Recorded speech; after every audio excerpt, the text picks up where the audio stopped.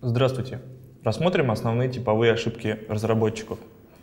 Первое – это модификация ядра. Достаточно частый неверный шаг – это модификация ядра, и, как мы уже не раз говорили, изменять типовые компоненты и файлы модулей нельзя.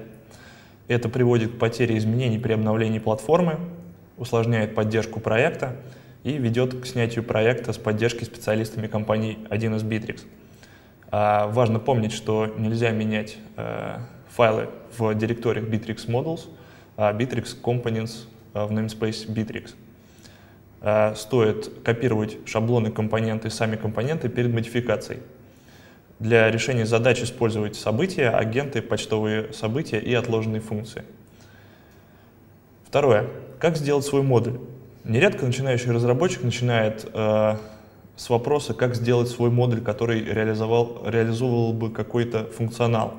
Это значит, что э, не изучают систему, не анализируют возможности модулей. Э, мы говорили о анализе задач и выборе редакции с нужным набором модулей э, для решения каких-то задач. Также не изучают возможности готовых компонент и технологий, доступных в системе. На первом этапе работы с системой зачастую потребуется лишь подобрать компоненты и внедрить свою верстку. Возможно воспользоваться расширением э, компонент. Э, третье – это код напрямую. Также часто пишут э, код напрямую в шаблонах. Э, как пример для вывода списка элементов инфоблок использует CI-блок element getList на странице или в шаблоне сайта.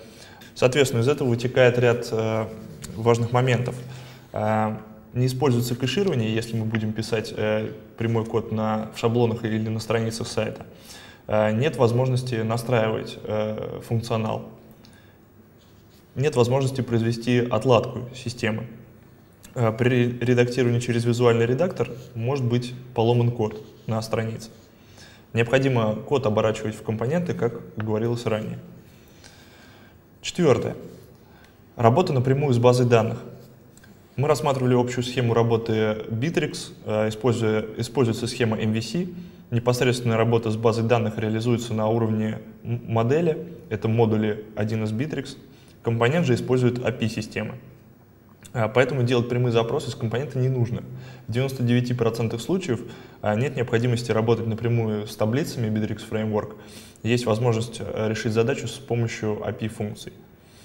Во-вторых, это небезопасно, а, и в-третьих, структура таблицы базы данных в принципе может быть изменена при установке обновлений. Ваш запрос и следовательно функционал перестанет работать в живом проекте. А, в компонентах информация оперирует только с помощью API. Работа с базой данных ведется при разработке собственных модулей, которые используют собственные таблицы в базе данных. Пятое. Отключение кэширования. А, хотелось бы подчеркнуть еще раз важность использования кэширования – а, мы с вами подробно рассмотрели, как работает этот механизм, что шаблоны, компонент и файл result modifier не используются при включенном кэше. Частые ситуации кэширования отключают на весь сайт э, или компонента э, из-за внесения логики в шаблон или файл result modifier. Мы с вами научились решать задачи с помощью компонента Pilog. А, Перед тем, как сдавать проект, проверяйте его. Все должно работать при включенном кэше. Если нет, э, пересматривайте решение. Э, но кэш должен быть включен всегда.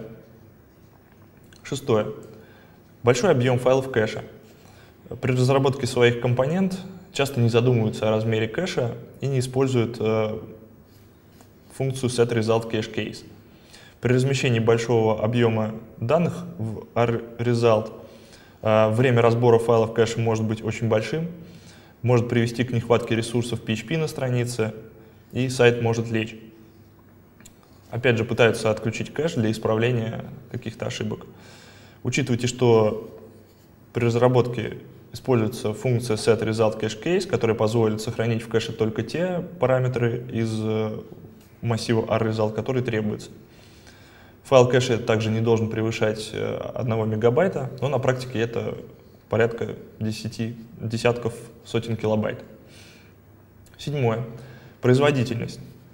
Стоит отдельно подчеркнуть важность скорости работы вашего кода и объема получаемых данных. Учитывайте, что вызов API влечет за собой запросы э, к базе данных или может выполнять ресурсоемкие операции. Здесь вам поможет инструмент отладки, с которым мы уже познакомились. Учитывает, что реальный объем данных может быть в сотни и тысячи раз больше, чем тестовые, заполняйте э, инфоблоки тестовыми данными в реальном объеме, проверяйте э, скорость создания страниц.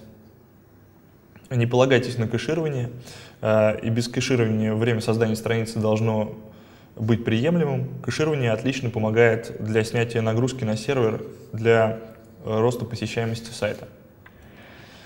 А если все это учитывать, то вы сдали проект, э, клиент, как это часто бывает, через пару месяцев его наполнит реальным объемом данных, и все будет э, в порядке.